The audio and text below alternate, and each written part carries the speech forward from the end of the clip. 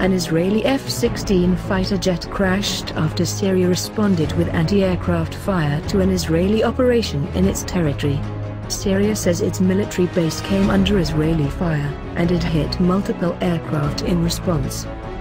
Massive Syrian anti-air fire, one F-16 crashed in Israel, pilots safe, IDF spokesman Jonathan Conricus said on Twitter.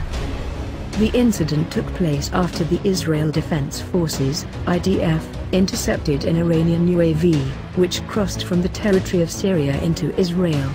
In response, the Israeli military attacked Iranian positions in Syria.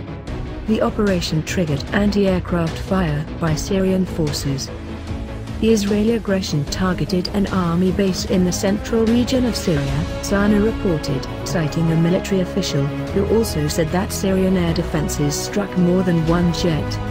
The Israeli military denied that, they all returned safely, except for one that crashed in Israel. Conricus said.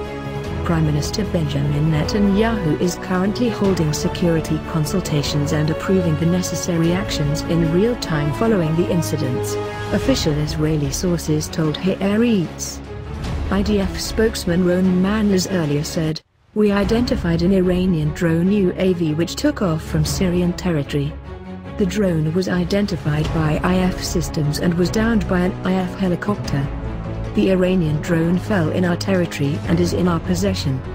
He described Israeli operation in Syria as a surgical action deep in Syria.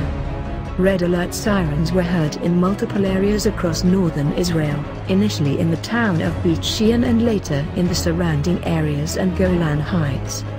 Local residents told Haaretz that they heard many blasts and reported heavy aerial activity in the area near the Jordanian and Syrian borders. Syria has repeatedly protested Israeli attacks on targets inside Syria. Earlier this week, Israeli warplanes attacked military targets near Damascus from Lebanese airspace, with the Syrian army claiming it destroyed most of the Israeli rockets.